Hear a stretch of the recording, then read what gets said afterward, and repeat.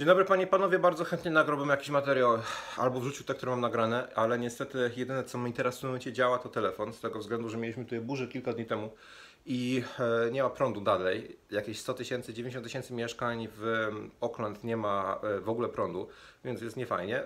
Zajmie to kilka dni, pewnie do weekendu, żeby to się... Na... Przyszedł prąd właśnie w tym momencie. Słyszę go. Aha.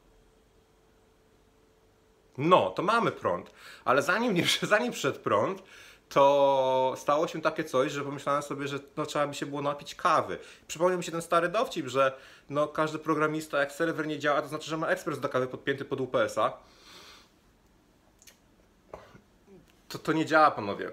To nie działa, bo ekspres do kawy jest za mocny i rozładował, rozładował baterię w ciągu, w ciągu 3 chyba albo 4 sekund, zanim e, się ten, zanim się nagrzał i, i nie zrobił kawy.